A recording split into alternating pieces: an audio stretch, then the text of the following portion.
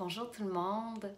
Vous allez vivre vendredi à Bruxelles euh, un séminaire sur l'entrepreneuriat au service de l'humain et de la planète.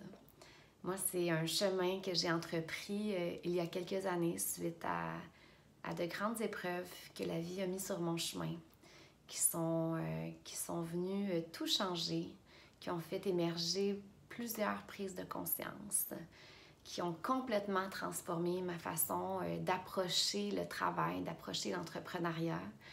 Euh, j'ai créé euh, Pastel Fluo, qui est mon projet de vie, qui est aussi une entreprise sociale au Québec. Donc, je vais vous partager mon histoire, mes prises de conscience, la transformation que ça a, que ça, qui a émergé de ça et mes mes clés, si je peux dire, qui ont été les plus significatives pour euh, peut-être venir déposer euh, quelques petites graines dans votre conscience, venir vous inspirer, euh, vous outiller aussi à, vivre autrement, à faire les choses autrement, à prendre tout ce que vous portez. les Amérindiens parlent de, de notre unique médecine, hein, ce qui est nos capacités, nos talents, nos dons.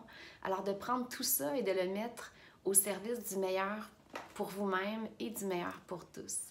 Alors, on, se voit vendredi prochain euh, dans ce magnifique séminaire. Bonne journée!